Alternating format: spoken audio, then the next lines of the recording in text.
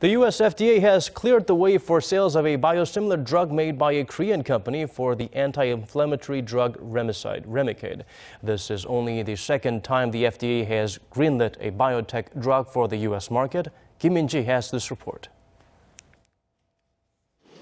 Korean biopharmaceutical firm Celltrion's biosimilar drug Inflectra is set to hit the U.S. market. The U.S. Food and Drug Administration gave its final approval on Wednesday to allow sales of the cheaper replica of Johnson & Johnson's top-selling drug Remicade. The anti-inflammatory drug is used to treat patients with a number of serious conditions, including Crohn's disease and rheumatoid arthritis. Biosimilars are biologic medical products with similar properties to ones already on the market.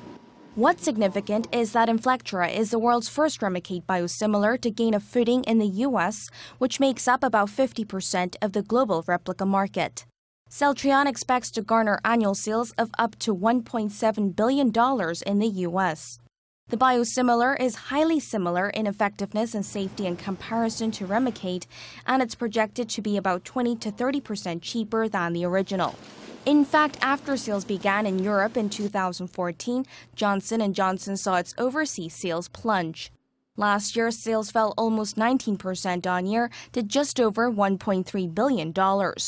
And with the prescription rate of replica products at 88% in the US, it could deal a significant blow to sales of the original. Many in Korea are also hoping the approval of Inflectra will pave the way for faster development of other biosimilars produced by Korean firms. Currently, clinical testing is underway for 12 such products. Celltrion first received the thumbs up for Inflectra, or Remsima as it's known in Korea, from the Korean Ministry of Food and Drug Safety in 2012 and the European Medicines Agency in 2013. Pfizer, Celltrion's partner on Inflectra, will be in charge of marketing and sales of the drug, expected to kick off in the third quarter. Kim Min-ji, Arirang News.